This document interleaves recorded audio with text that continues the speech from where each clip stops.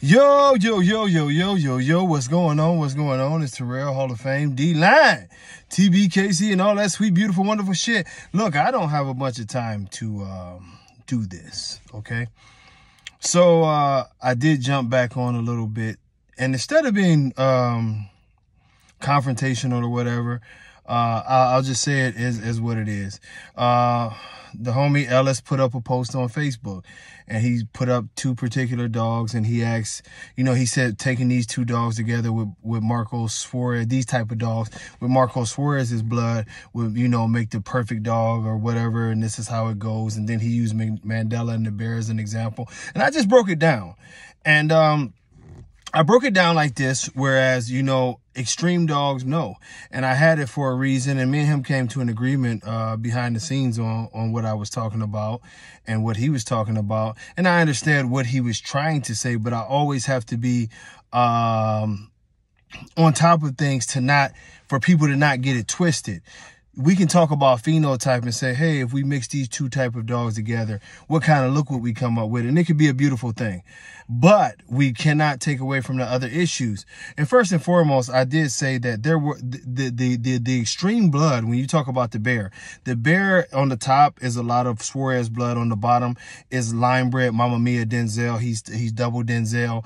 But by one way, it's Magoo there. Uh, Magoo has Dax. Dax goes back roughly 10%, is 12.5 percent. The 12.5% of his blood would be the only blood that you would consider to be extreme, which would therefore make him 87.5% blood that we would say is probably not that extreme blood, which seems to be plaguing are bullies with um, issues.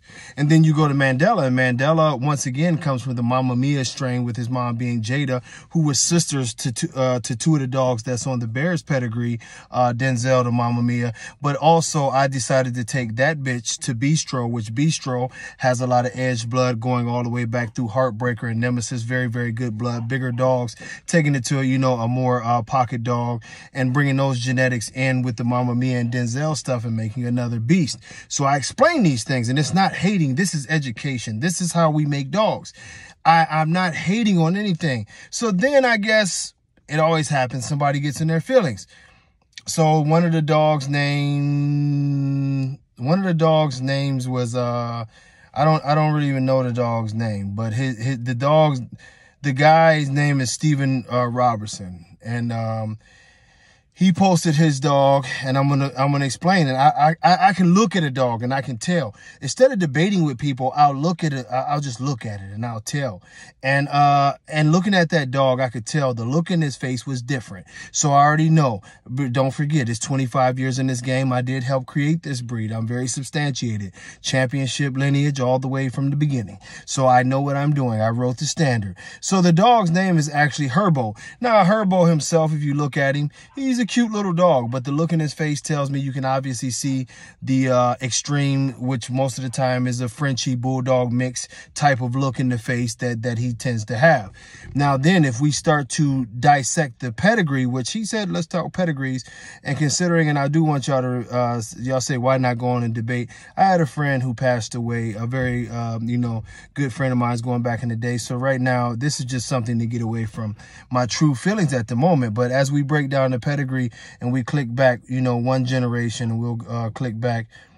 Uh, we'll click back on the mother side. Let's let's do that. Hold on. I, will do that right now. We'll click back on the mother side first. And we'll open the mother side of Herbo's mother up.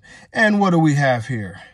Okay, now you guys can do this if you want to or not, but I, will tell you how I, how I break it down.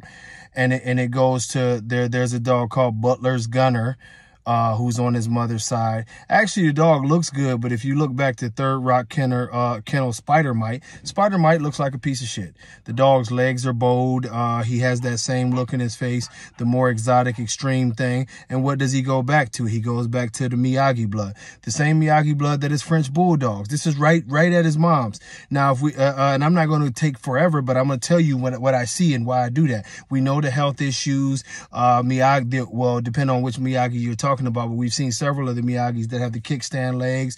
They fall over. Uh, Miyagi himself has died 32 times and they've never admitted that he actually died. They just kept changing dogs. These are the genetics that you would be putting in. Then you have Dax there, a dog that died trying to fuck. Then we have uh, Another an, another dog, um, which is definitely Miyagi because it's Bully Camps line, Kratos. We all know about Kratos, over, uh, overly done, Bulldog genetics. Had a lot of dogs die on him also. That is very well known. If you go down to this other dog, Pressure Davis, it looks like an English Bulldog with his ears chopped off. This is not American Bully. We go down to Money Baby, another one of the Miyagi type dog lines. The dog is a piece of shit. I'm, I'm, I'm, I'm saying this because I'm going to give it to you how I give to you. I, I mean, I don't really give a fuck. I do like the dog up front, which was Butler's Gunner, the way he looks. But remember, it's not always what things look like. It's what's under the hood and the genetics that come with it that make these dogs not what they are. So this man told me, let's talk pedigree. So I'm going to get on here. I'm not going to debate with anybody. I'm just going to go through the pedigree and I'm going to tell you as we open up the pedigree on the other side, we once again, we see it. We see the dog up top is Kratos and this is behind the uh, dog Sinbad. But Kratos is there again. Uh, of course, it's uh, a bunch of Miyagi stuff behind Kratos.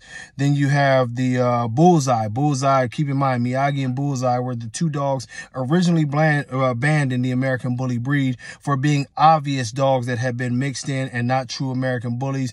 Bullseye was an English Bulldog with his ears chopped. They admitted as much. So um, I go down again, and, and that's the that, that explains why the Pressure Davis, who's now two times in there, just like the other dog, it explains why he looks like a bulldog with his ears chopped off because that's what Bullseye was banned from. And then you go down, and I don't even know what this dog is, EEOG Pugani actually has a pretty good front, uh, nice wide chest, pretty solid dog. But once again, you go to the Bully Camp line Bellagio, Bully Camps um, Erykah Badu. Keep in mind, I told you guys about the Bully Camp, and, and I've told you about a friend of mine who actually had over 30 of those dogs in Florida spent over $300,000 total, a ton of money on his setup. Most of the bully camp line dogs do not live very long lives. They are, in many senses, worse than Dax. Their breathing is not good. They have a ton of issues. This is why he had to continuously replace Miyagi after he openly admitted that he used French bulldogs and miniature bulldogs, which miniature bulldogs come by the way of, of pugs and Boston terriers. So it wasn't to hate on you, uh, my brother. What it was is to, is to state a fact. Somebody like Marco Suarez, who has used who has used true American bully blood for generations, and has also been very, very cognitive of the way that he keeps his line as far as health, structure, and he loves the term real American bullies. To add a dog with tons of Miyagi, some Dax, a bunch of extreme dogs, and, and, and let's just be real, a bunch of bulldog mixes, a bunch of pugs, a bunch of this, that, and the other behind the dog to create your dog would be lessening the quality of Marco Suarez's dogs. It's not to say that your dog is some hideous monster because the dog has a good front, and from what I see, that's the only pictures I see of him is fronts, but the dog looks pretty solid for what he is, that type of extreme, you know, maybe slash exotic when you start talking about the, uh, the uh, bully camp blood, but the, the the reality of the dog is to put that to Marco Suarez's blood and our reality of what true American bullies is, it would have been deadening the blood that we had. Nothing that Miyagi has to offer would make um, especially not way up front like that and compounded with Kratos and all this other shit would make these dogs better. The the amount of genetic issues, the amount of health issues, not to mention all of the scandal and the cheating and the mixing that was behind there that's not American Bully, it would definitely lessen the quality of Marco Suarez's and Paco's legacy to be mixed with those dogs. It wouldn't make something better. It wouldn't make a Mandela and it sure as fuck wouldn't make a bear. That's my shit on it. I spit facts. If you're mad about the facts, I don't know what to tell you. But as far as the way the dog looks for what he is, good looking dog. You know what I mean? Uh, from that front shot, he's a good looking dog for what he is, but that's not an American bully. And uh, he definitely would not make uh, a legendary bloodline like uh, Suarez Bulls any better. It would actually very much so discredit uh, Suarez Bulls. But until next time, y'all, God bless y'all. Much love. Peace.